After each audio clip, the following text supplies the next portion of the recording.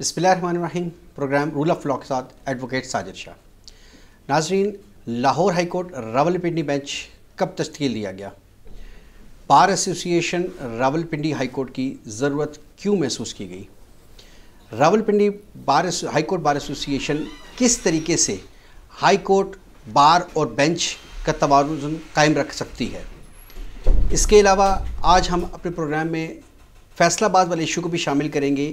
کہ جو فیصلہ آباد کے وکلاء کا مطالبہ ہے ہائی کورٹ کا، کس حد تک وہ درست ہے؟ اور اس حوالے سے Rawalpindi high court bar کا کیا لائے عمل ہے؟ ان تمام سوالوں کے جوابات کے لیے آج ہمارے ساتھ موجود ہیں حسن رضا پاشا صاحب، جو کہ advocate supreme court of Pakistan بھی ہیں، حالیہ Lahore high court Rawalpindi bench کے صدر بھی ہیں، اور سابق جسٹس لاہور ہائی کورٹ بھی رہے ہیں۔ السلام علیکم سر۔ وعلیکم السلام۔ سر ہمیں یہ بتائیے گا کہ Lahore high court bench Rawalpindi bench کب تشکیل دیا گیا؟ بسم اللہ الرحمن الرحیم۔ Lahore high court Rawalpindi bench جو ہے، وہ انیس سو اکیاسی بیاسی میں یہاں پہ وجود میں آیا اور اس وقت زیادہ دور تھا۔ وزیر اعظم جو ہے، وہ محمد خان جنیجو تھے یہاں پہ۔ تو اس وقت جو ہے، یہ مارض وجود میں آیا سر ایسی کیا ضرورت پیش آئی؟ کیا یہ آبادی کے لحاظ سے ہوتا ہے؟ کیسز کی پیٹنسی کے لحاظ سے ہوتا ہے؟ اس کی کیا کریٹیریا ہے؟ کیوں؟ یہ اگر آپ سال انیس سو اسی اکاسی بیاسی میں جائیں گے تو آپ کو پتہ چلے گا کہ وہاں پہ اس وقت آمد و رفت کے وہ ذرائع نہیں تھے۔ ایک جی ٹی روڈ ہوتی تھی اور سارا لوڈ اس روڈ پہ تھا۔ موٹر وے تو بہت بعد میں بنی۔ پھر جہاں کے دور دراز علاقے جو ہیں وہاں کے سائلین ان کا لاہور تک پہنچنا پبلک ٹرانسپورٹ پہ وہ انتہائی مشکل تھا۔ تو گورنمنٹ نے اور یہ اس وقت کے جو ارباب اختیار ہیں، انہوں نے اس سائلین کی اس مشکل کو مد نظر رکھتے ہوئے انہوں نے high court Rawalpindi bench کا نہ صرف وہ مرض وجود میں لایا، بلکہ ملتان بینچ بھی اسی کی کڑی ہے۔ یہ دونوں بینچز جو ہیں وہ وقت کی ضرورت تھے اور وقت کے ساتھ ساتھ یہ ثابت ہو گیا کہ یہ حکومت کا انتہائی اہم اور ایسن اقدامات تھے جو انہوں نے ان کی فارمیشن کے لیے کیے۔ کیونکہ آپ دیکھیں گے کہ یہاں سے اب لائرز کی گرومنگ ورکنگ کے حوالے سے اور پھر لیٹر آن یہیں کے لائرز جب بینچ پہ جاتے ہیں ایز جج of the high court supreme court, تو ان کی جو پرفارمنس ہے، وہ لاہور یا سینٹرل پنجاب کی کسی بھی ڈسٹرک سے ایلیویٹ کیے گئے ججز یا وکلاء کے معیار کسی طور پہ بھی کم نہیں ہے۔ تو یہ اسی بینچ کا جو ہے، وہ اعجاز ہے کہ جس کی وجہ سے لوگ جو ہے سائلون کو بھی آسانی ہوئی ہے۔ اور جو حکومت وقت کا یہ وعدہ ہوتا ہے کہ انصاف جو ہے، وہ ہر سائل کے ڈور سٹیپ پہ ہوگا۔ اس کی بھی ایک کڑی ہے۔ سر یہ راول پنڈی بینچ کی جورسڈکشن کیا ہے؟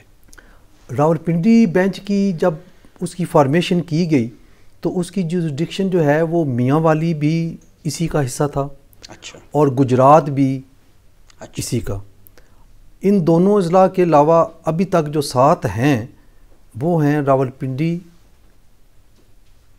جیلم اٹک اور چکوال۔ یہ اضلاع اور اسلام آباد بھی تھا تھا۔ اب یہ بعد میں کچھ سیاسی وجوہات کی بنا پہ طاقتور اشرافیہ کی وجہ سے میاں والی کو پھر لاہور کے ساتھ لگا دیا گیا پرنسپل سیٹ کے ساتھ اور گجرات کو بھی پرنسپل سیٹ کے ساتھ لاہور لگا دیا گیا۔ حالانکہ دیکھا جائے تو ڈسٹنس کے اعتبار سے میاں والی جو ہے وہ وہ راول پنڈی کے قریب ہے۔ قریب ہے۔ اور لاہور جانے کے لیے دو سو چالیس کلو میٹر زائد فاصلہ ان کو طے کرنا پڑتا ہے جو سائلین کے لیے بھی اور وکلاء صاحبان کے لیے بھی کوئی وہ اچھی چیز نہیں ہے۔ اسی طرح گجرات بھی جو ہے اس کا فاصلہ پنڈی سے نزدیک ہے اور لاہور سے زیادہ ہے۔ بالکل اگلا سوال بھی یہی تھا کہ بار اور بینچ کے توازن کو قائم رکھنے کے لیے بار نے کیا کردار ادا کیا اور کیا کردار ادا کر سکتی ہے؟ اور یہ اسی چیز سے آپ کے جواب سے لنک کر رہی ہے۔ کہ کیا بارس اتنی کمزور ہیں کہ وہ اپنے حق کے لیے بھی نہیں لڑ سکتی؟ ویسے تو دو ہزار سات میں جو سابق جسٹس افتخار چودھری صاحب کے لیے ایک بہت بڑی تحریک نکلی، اس نے پورے ملک کو ہلا کے رکھ دیا اور واپس اس سسٹم کو لانے میں کامیاب بھی ہوئے۔ لیکن کیا اپنے حق کے لیے یہ بارز جب ایک جینون سے سامنے چیز ہے، تو ایسے سیاسی کیا مسائل تھے جو سامنے آئے جس کے بعد بارز جو ہیں وہ کمزور پڑ گئی اور اپنے معاملات کو نہیں چلا سکی اس میں میں یہ نہیں کہوں گا کہ بار کمزور پڑ گئی ہے۔ بار اگر فل سٹرینتھ کے ساتھ اور کمٹمنٹ کے ساتھ اپنی کوئی بات کرتی ہے تو وہ منواتی ہے۔ پرابلم یہ ہے کہ ہمارا شروع سے یہ مطالبہ رہا ہے کہ بار کونسل ایکٹ میں امینڈمنٹ کرتے ہوئے بار ایسوسیشنز کو ایک جو گورنمنٹ لیول پہ بجٹری گرانٹ جو ہے وہ ملنی چاہیے۔ اب پچھلے کچھ دہائیوں سے یہ ہو رہا ہے کہ وہ budgetary grant irrespective of this thing کہ یہ بار کا پریزیڈنٹ پرو گورنمنٹ ہے یا اگینسٹ دی گورنمنٹ ہے، وہ دیکھنے کے بجائے صرف یہ دیکھتے رہے ہیں کہ کون سا صدر ہے یا کون سی ایگزیکٹو باڈی ہے جو ان کے اشارے پہ چل سکتی ہے۔ تو ان ان کو وہ گرانٹس وغیرہ دیتے تھے۔ ہمارا مطالبہ یہ ہے کہ بار کونسل ایکٹ میں امینڈمنٹ ہو اور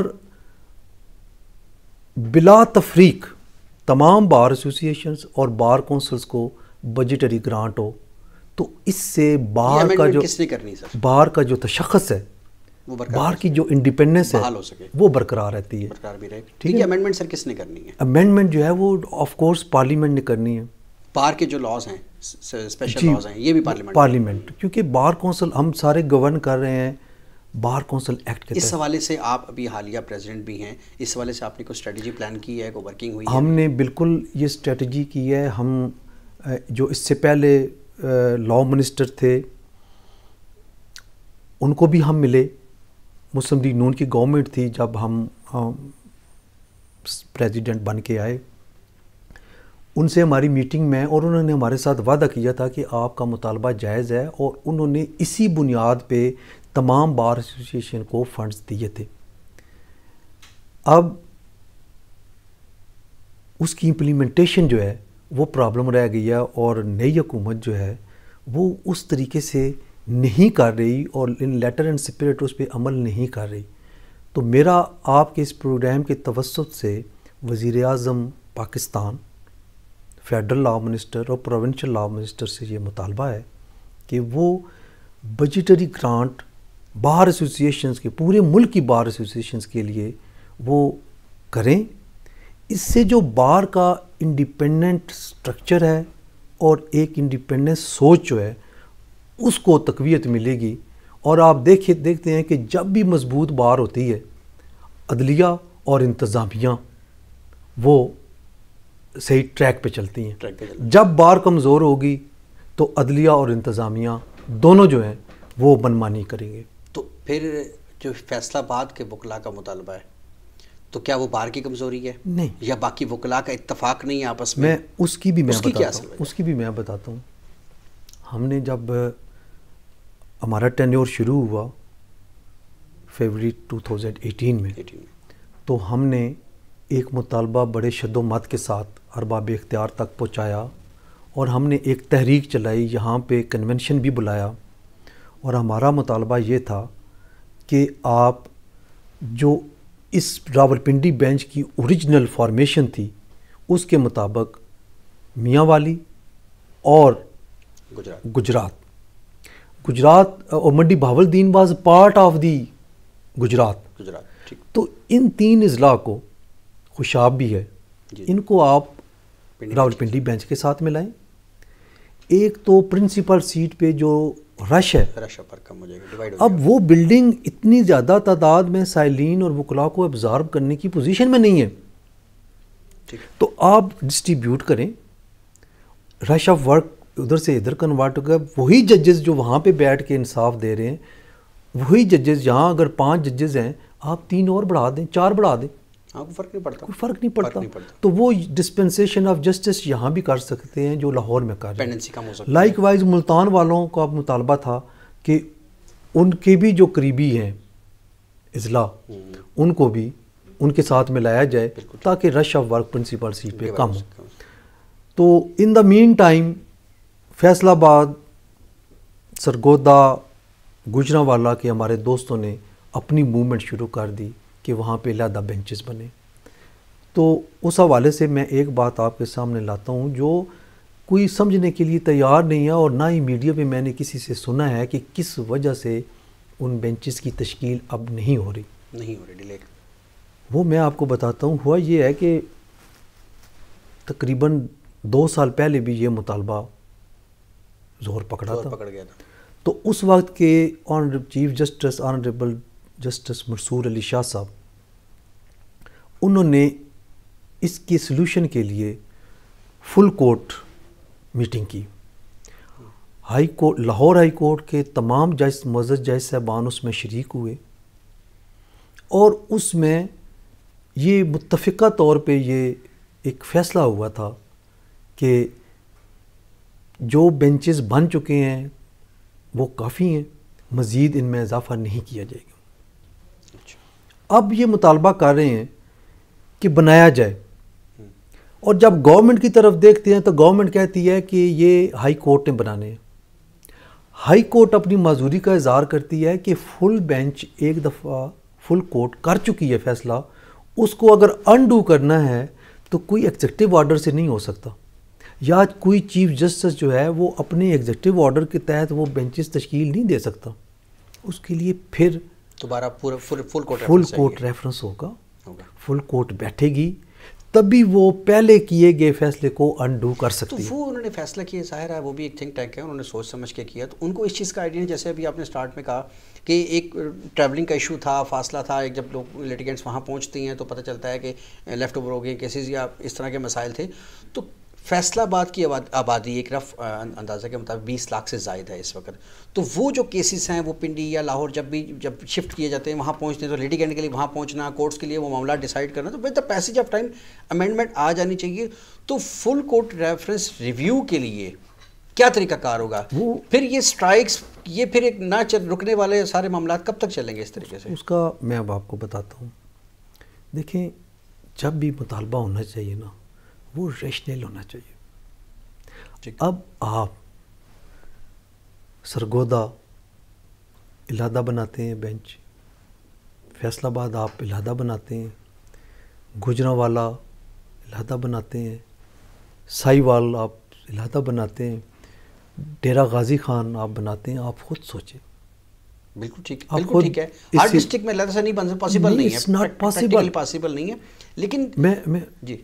اب جی ذرا نا جو آپ نے جو بات میں اسی کا ذرا جی، جی، جی، جی۔ اسی تناظر میں بات کر رہا ہوں۔ فیصل آباد کا اور لاہور کا کتنا ڈسٹنس ہے؟ ڈیڑھ گھنٹے میں پہنچ جاتے ہیں۔ تقریباً۔ پونے دو گھنٹے میں پہنچ جاتے ہیں۔ ایسا ہی۔ اتنی فاصلہ ہے جتنا اٹک کا اور راول پنڈی کا ہے جیلم کا اور راول پنڈی کا ہے چکوال کا اور راول پنڈی کا ہے۔ ڈیڑھ دو گھنٹے کی مسافت پہ ہے گجرا والا اٹ سیلف ایک گھنٹے کا راستہ ہے۔ تو یہ تھوڑا سا ارریشنل سی میں سمجھتا ہوں کہ ڈیمانڈ ہے۔ یہ میں میں اس طرف ہی آ رہا تھا کہ لوور جوڈیشری آج سے آٹھ سال پہلے یا دس سال پہلے جو ججز کی ایک تعداد تھی وہ ڈبل کر دی گئی آلموسٹ ججز زیادہ کر دی تاکہ پینڈنسی ورک کو ختم کیا جا سکے۔ اس وقت بھی ہائی کورٹ کے اندر وہ بے تحاشا کیسز پینڈنگ ہیں۔ آلموسٹ دو ہزار تھرٹین دو تھرٹین فورٹین ففٹین سکسٹین کے کیسز ابھی زیر سماعت ہیں۔ دو ہزار دس کے بھی ہیں۔ نو کے بھی ہیں تو۔ پھر کب کیسے یہ پینڈنسی ختم ہوگی؟ اگر بینچز بن جاتے ہیں ایون کہ اگر یہ ایک پلان کر لیا جائے ایک سجیشن ہے ڈویژن لیول پہ بینچز جس طرح سے راول پیٹی ڈویژن کا تمام ڈویژنز میں ایک ایک بینچ دے دے۔ تو پھر کیا پینڈنسی ختم ہو کے کیا انصاف کا حصول آسانی سے ممکن نہیں ہو سکے؟ لیٹیگنٹ کے ڈور سٹیپ پہ انصاف آسانی سے نہیں پہنچ سکے گا۔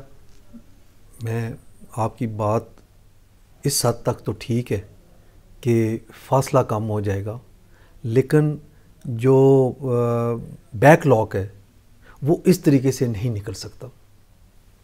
This is near to impossible اس طرح۔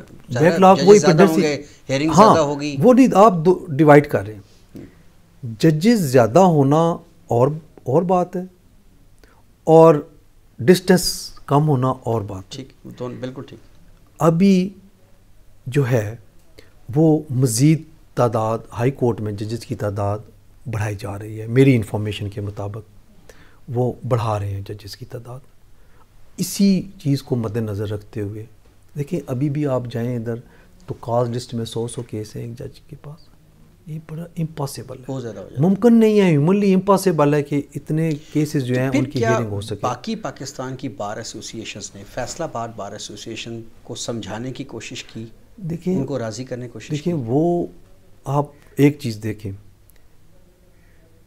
پنجاب لیول پہ ان کے ساتھ اظہار یکجہتی کرتے ہوئے پورے پنجاب کی بار ایسوسیشنز نے سٹرائک کی۔ ٹھیک ہے؟ لیکن پرابلم ابھی بھی وہی ہے۔ ان کو وہ ڈی ٹریک میرے دوست ہیں، بھائی ہیں۔ ان کو ٹریک پہ ان کو سب سے پہلے کوشش یہ کرنی چاہیے کہ وہ جو بھی اب موجودہ چیف جسٹس صاحب ہیں اس کائنڈ ہے نا ان کو ملیں۔ ان کو اس بات پہ وہ مجبور کریں کہ آپ فل کورٹ ریفرنس میٹنگ بلائیں۔ فل کورٹ اس کو پہلے کا کیا گیا فیصلے کو انڈو کریں۔ لیکن ایک تجویز اور بھی چل رہی تھی جو کہ پھر وہ معلق ہو گئی ہوا میں اور اس پہ عمل درآمد نہیں ہوا وہ بھی ان کے تعاون نہ کرنے کی وجہ سے۔ وہ یہ تجویز تھی کہ فیصلہ آباد سرکوتا۔ ان کے درمیان ایسی جگہ ہو کوئی جہاں پہ ہائی کورٹ کا سرکٹ بینچ بن جائے۔ ایٹ لیسٹ یہ ہو جائے گا کہ وہ دونوں ڈویژن ہیڈ کوارٹرز کے نزدیک ہو۔ کوئی سینٹر پلیس رکھ لینا کوئی بھی۔ تو۔ وہ ایک ایزیلی ہو جائے گا۔ کے لیے ہو جائے گا۔ اس پہ بھی جو ہے وہ بات چیت چل سکتی ہے۔ ممکن ہے کہ اس پہ بھی ہو جائے۔ اور یہ انڈر کنسیڈریشن رہی ہے آنریبل ہائی کورٹ کے پاس۔ ٹھیک۔ اچھا سر اکثر دیکھنے میں آیا ہے لیٹیگنٹس کا بھی کہنا ہے، کچھ وکلا کا بھی دیکھنے میں آیا ہے، ایسا رسپانس آیا ہے۔ ہائی کورٹ کے ججز بہت ہارش بیہیویئر رکھتے ہیں as compare to lower judiciary تو ہائی کورٹ بار بینچ جو ہے، اس نے بار اور بینچ کا توازن قائم رکھنے کے لیے کیا کیا وکلا کے لیے؟ دیکھیں جی یہ مجھے یاد ہے کہ جب ہم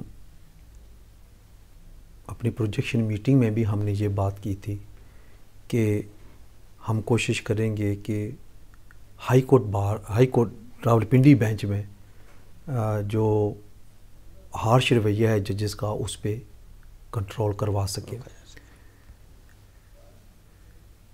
اور اس میں میں یہ نہیں کہ سیلف پریزنگ کر رہا ہوں، لیکن ہم سیونٹی ایٹی پرسینٹ اس میں کامیاب ہو پائے۔ ہیں سر آپ خود بھی سابق جسٹس رہے ہیں۔ جی، جی۔ آپ نے وہاں بیٹھ کے بھی دیکھا یہاں بھی بیٹھ کے دیکھا۔ لیکن وکلا جو یہیں سے ایلیویٹ ہو کے وہاں پہنچتے ہیں پھر وہ ان کا رویہ اتنا چینج کیوں ہو جاتا ہے؟ ان کی کیا ایسی مجبوری ہوتی ہے؟ کیسے حالات و واقعات بن جاتے ہیں؟ آپ نے بھی اس سیٹ پہ دیکھا۔ شاید کچھ لوگ شاید ڈیفینیٹلی ہر سارے خوش نہیں ہوتے کچھ لوگ آپ سے بھی نالاں ہوں۔ ایسی مجبوری کیا ہوتی ہے؟ کہ وہ وکلا کے ساتھ بھی اتنا ہارش میں مجھے اللہ تعالیٰ نے موقع دیا اور بڑا مختصر سا تھا سال ایک کا تھا لیکن آپ بلیو کریں کہ پورے ایک سال میں جتنا عرصہ میں نے بینچ پہ کام کیا میری کسی وکیل کے ساتھ ہارٹ ٹاک نہیں ہوئی۔ کبھی بھی نہیں ہوئی۔ گارنٹی ہے کوئی بندہ آپ لے آئیں یہ کچھ ٹیمپرامنٹ کی بات ہے۔ کچھ ہمارے دوستوں کا پریپیئر ہو کے نہ جانا۔ مثلا میں جب روسٹرم پہ کھڑا ہوں اور میں کہوں کہ آم سوری میں تیار نہیں ہوں۔ ایک دفعہ ڈیٹ مل جائے گی۔ دوسری دفعہ جب کہوں گا تو نیچرلی جج نے بھی اپنے کوڈ آف کنڈکٹ کو مد نظر رکھتے ہوئے اپنے اوت کا تقاضے کو پورا کرتے ہوئے اس کی بھی خواہش ہوتی ہے کہ یہ ختم ہو۔ کیونکہ ایلیگیشن جہاں پہ یہ آتا ہے کہ بیک لاک بہت ہے پنڈنسی بہت ہے کام نہیں ہو رہا تو اس میں سب سے زیادہ ججز کو نشانہ بنایا جاتا ہے۔ بنایا جاتا ہے بالکل ایسے ہی ہے۔ تو وہ وہ چیز وہ پریشر جو ہے وہ اتنا حاوی ہو جاتا ہے کہ ہم نے ان اس بیک لاک کو نکالنا ہے تو وہ پھر اس طرح کی صورتحال بن جاتی ہے اور کچھ نو ڈاؤٹ کہ ٹیمپرامنٹ کے بھی کچھ ہوتا مسائل مسائل ہیں۔ ہوتی ہے بالکل ٹھیک ہے۔ سر یہ جو میجسٹریٹس اپوائنٹس ہوتے ہیں سول ججز اپوائنٹس ہوتے ہیں باقی سیٹس پہ اپوائنٹمنٹس ہوتی ہیں تمام کا ایک کرائٹیریا ہوتا ہے۔ پیپرز دیتے ہیں ایگزامس دیتے ہیں گریڈنگ ہوتی ہے انٹرویوز ہوتے ہیں اس کے بعد وہ سارا ایک سلسلہ ہوتا ہے اپوائنٹمنٹ ہوتی ہے۔ ہائی کورٹ کے ججز جب اپوائنٹ ہوتے ہیں جیسے ایون کہ سپریم کورٹ کے ججز اپوائنٹ ہوتے ہیں ڈائریکٹ ڈائریکٹ خیر نہیں وہ تو ایلیویٹ ہو کے جاتے ہیں لیکن ہائی کورٹ کے ججز جو اپوائنٹ ہوتے ہیں تو ان کے لیے باقاعدہ کوئی ایگزامس نہیں ہوتے۔ تو تو ان کا کیا کرائٹیریا ہے؟ کیا چیزیں دیکھ کے ان کو ایلیویٹ کیا جاتا ہے؟ یہ غلط نہیں ہے؟ کچھ کیا آپ سمجھتے ہیں؟ ٹھیک ہے۔ دس از کانسٹیٹیوشنل پوسٹ تھوڑا سا ڈفرینس ہے۔ دس از کانسٹیٹیوشنل پوسٹ جو ہائی کورٹ کا جج ہے۔ اور باقی جو ججز ہیں وہ جاب میں آتے ہیں۔ ہائی کورٹ کا جج جاب میں نہیں ہے اس کو جاب نہیں کہیں گے۔ ہاں اس کے طریقہ کار میں مجھے بھی اختلاف ہو سکتا ہے آپ کو بھی ہو سکتا ہے کسی کو بھی ہو سکتا ہے۔ کرائٹیریا بیسک کیا ہے؟ بیسک کرائٹیریا یہ ہے کہ پہلے بھی یہ ہوتا تھا پہلے یہ ہوتا تھا دو ہزار سات سے نو سے نو سے پہلے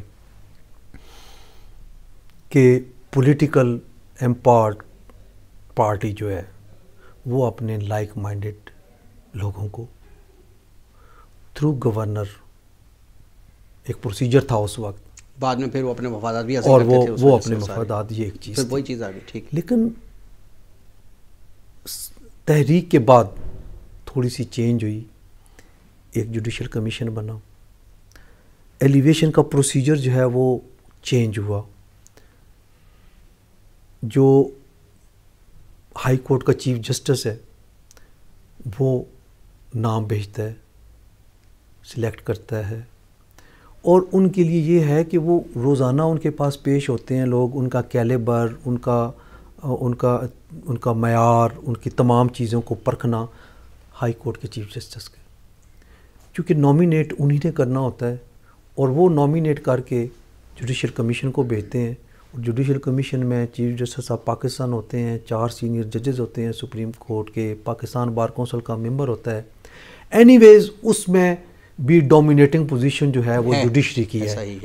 بار کے نمائندہ وہاں ہونے کے باوجود اپنا احتجاج یا اپنی ریزرویشن جو ہے وہ ریکارڈ نہیں کروا سکتا اٹ ناٹ پاسبل فار ان کے اسٹریٹ پہ لے کے ٹھیک ہے تو وہ یہ صورت حال ہے۔ اس میں بھی ابھی مزید بہتری کے لیے جو ہے وہ سوچ و بچار ہو رہی ہے ڈسکشنز ہو رہی ہیں۔ کہ اس طریقہ کار میں بھی چینجز لائی جائیں۔ تو یہ ایولیشن پروسیس ہے۔ بہتری کی طرف بہرحال جانا ہوتا ہے اور بہتری الٹیمیٹلی تمام اداروں نے یہی دیکھنا ہے کہ بہتر سے بہتر سٹف جو لایا جائے۔ جو لایا جائے تاکہ وہ کام کر کام کر سکے۔ یہ۔ آخری سر سوال آپ سے پوچھنا چاہوں گا کہ آپ نے ایک سال کا ٹینیور ہائی کورٹ بار جو ہے بینچ کا گزارا ہے۔ آپ ایک ڈیفینیٹلی ہر شخص جب آتا ہے اوپر اس الیکشن کنڈیکٹ کرتا ہے تو اس کا ایک ٹارگیٹ ہوتا ہے، ایک اچیومنٹ ہوتی ہے۔ آپ کا جو ٹارگیٹ تھا، آپ کس حد تک کامیاب ہوئے ہیں اچیو کرنے میں؟ دیکھیں جی ایک سال دیکھا جائے تو بہت زیادہ ٹائم بھی ہے اور بہت کم بھی ٹائم ہے۔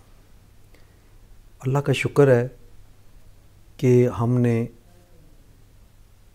بڑے میگا پروجیکٹس کوشش کی، کچھ میں ہم کامیاب ہوئے۔ کچھ پائپ لائن میں۔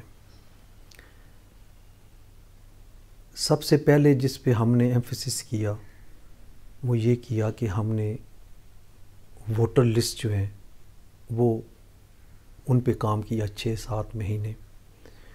ان کو پراپر آرگنائز کیا اور اس کو جو ہے، وہ کچھ ڈبلنگ تھی۔ کافی سارے چھوٹی چھوٹی بہت زیادہ اور جب سے ہائی کورٹ بار بنی ہے پہلی دفعہ یہ کام ہوا ہے کہ کچھ سبسٹینٹیو کام اس حوالے سے۔ سامنے آیا۔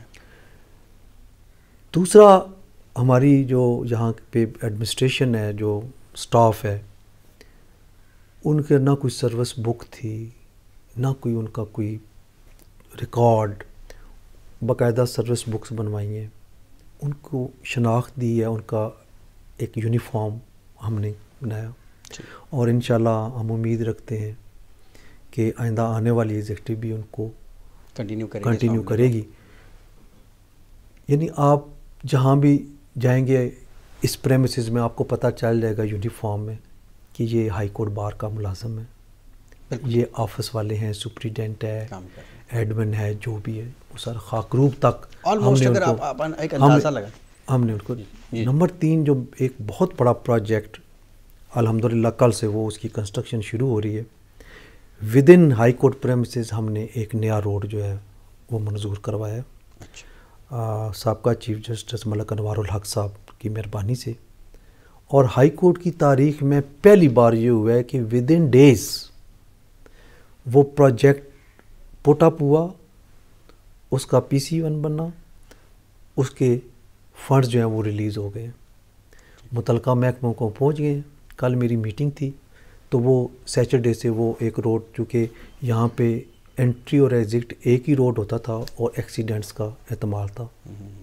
تو وہ ایک روڈ ہم علیحدہ بنوا رہے ہیں۔ یہ کچھ سوا کروڑ کا پروجیکٹ ہے۔ یہ شروع ہو گیا۔ ہے یہ میں سمجھتا ہوں کہ یہ ہماری ایگزیکٹو کی اور میری جو ہے میرے رفقائے کار کی ان کی آپ کوشش نے اپنے ٹارگیٹس اچیو کر ٹارگٹس دیکھیں میں نے یہ کہا ہے نا کہ ٹائم واقعی بہت کم تھا۔ صحیح۔ لیکن اتنے عرصے میں ہم جو کر سکے وہ ہم نے کیا۔ اور ضمیر مطمئن ہے۔ سیٹسفائی ہوں کہ جو وعدے کیے تھے ان میں سے میجارٹی وعدے میں نے پورے کیے۔ سہولتیں جو وکلاء کو ہم دے سکتے تھے اس پریمسز میں ان کا اعادہ کیا ان کو بہتر کیا۔ اور امید ہے کہ جنہوں نے ہمارے اوپر اعتماد کیا تھا ہم ان کے اعتماد پہ پورے اترے ہیں۔ ایک دفعہ پھر میں ان کا شکریہ ادا کرتا ہوں کہ انہوں نے ہمیں اس قابل سمجھا اور اس مقام پہ پہنچایا۔ بہت شکریہ سر بہت شکریہ آپ کا۔ جی ناظرین اسی کے ساتھ ہمارے آج کے پروگرام کا وقت ختم ہوتا ہے۔ اگلے پروگرام میں پھر کسی نئے مہمان کے ساتھ۔ اللہ حافظ۔